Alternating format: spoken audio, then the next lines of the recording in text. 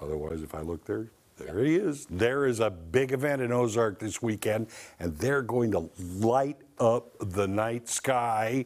And to give us the scoop on what's going on is Jackie Barker, Executive Director at uh, Children's Smile Center. Good to see you. Good to see you too. Been doing this a long time Yes, for this- this type of event. The 15th annual Balloon Glow in uh, downtown Ozark for Mm-hmm. uh, Children's Smile Center. Yeah, explain that a little bit because, yeah, you know, okay, it's very nice to have a festival and this and that, but why? Why are you doing this? Well, Children's Smile Center is a large nonprofit organization that provides dental clinics for thousands of kids from a six county area just south and west of Springfield. Christian, Stone, Taney, Lawrence, Dade, Barry counties. In those six counties, there's not a dentist that takes Medicaid referrals at all. So we step in the gap, and it's not the dentist's fault. No. Uh, the reimbursement rate is too low to be able to cover the cost. So we have a nonprofit organization that steps in the gap Yeah. to provide regular dental clinics, and that's important. A lot of people think when I say nonprofit serving kids on Medicaid, they say, "Oh, you got a van?" No. "Oh, you got retired volunteers?" No. A regular dental office, and they say, "Oh, our patients when they come see us, a lot of times for the first time, it's like, oh, we didn't expect this."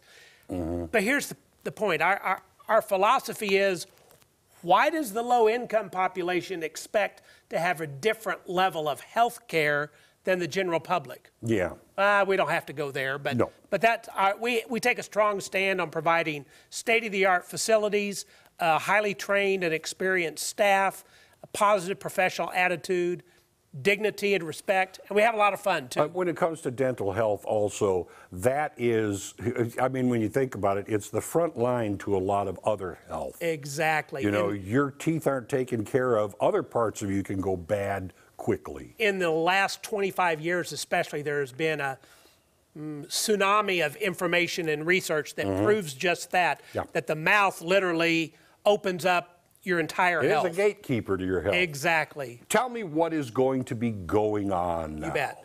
Friday night, uh, June uh, 18th, is the 15th annual Balloon Glow in downtown Ozark. Here's what's going to happen there will be, at last count, seven or eight hot air balloons that will set up about 8:30 when it's starting to get dusk to dusk to dark, and they will set up and inflate their balloons. It is a dramatic event to watch the envelope lay flat on the ground and start to fill up and then set up. The baskets are tethered to the ground. Mm-hmm. I want to make no mistake here. It's not going to be a flight. You don't fly at night. Yeah, I get it. The FAA says Yeah, no. yeah. And uh, the balloons will set up, and against a dark black sky, it is so dramatic, majestic, picturesque. It really is. Well, Yeah. you can see one Oh, of the my goodness. back here. But yeah, I mean, you t- it, it, it does. It just lights up the sky. These beautiful colors. And you joke about kids of all ages, but but to see grown-ups just their jaws drop. Oh, yeah. It's not just for kids and families; it's for everybody to enjoy it. And uh, if the weather allows, when I say weather, I'm we're referring mainly to wind speeds. Right.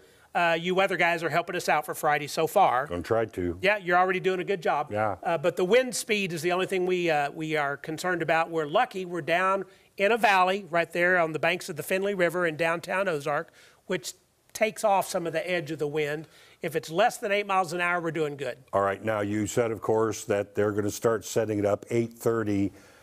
First of all, I know get them get there early. Do This not try to show it. up at 8:30. Yeah, 8:30. 8:30 you're going to be, but you'll still see it. But it's better to get there early. If people want more information about this, all that's going on during the weekend, how, how do they get this, Jackie? We've got a couple of Facebook pages. Uh, at, just put in Hot Air Balloon Glow or 15th Annual Balloon Glow on Facebook. You're going to find us, or through the Children's Smile Center website or Facebook page. But then also the two day uh, festival that we're inside, the Sertoma Duck Race Festival. Yes. Google that and get some more information about parking and vendors, and it'll be a lot of fun. A lot of fun, great reason to be there, and you're going to see some fun things too. Jackie, thanks. Good to see you. here. All right, up next, we're kicking the Ozarks Live virtual stage to the side today for the real deal. You don't want to miss which band is joining us next, so don't go away. Ozarks Live will be right back.